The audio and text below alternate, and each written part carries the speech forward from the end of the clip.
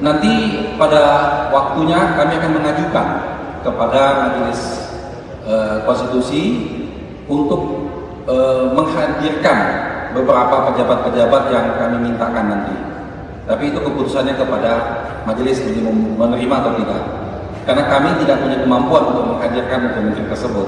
Tapi paling ini hal yang penting sebetulnya untuk sebetulnya membuka cerita fakta sebenarnya bagaimana tentang misalnya menteri keuangan penggunaan anggaran negara kita, bagaimana tentang menteri sosial penyaluran bansos-bansos kita. Itu penting sekali sebetulnya supaya masyarakat tahu dan kita betul-betul bisa memahami secara utuh dan sehingga yang tadi kami sampaikan di awal tentang terjadinya pengkhianatan konstitusi MK sebagai penjaga konstitusi kita dapat memberikan putusan yang seadil-adilnya.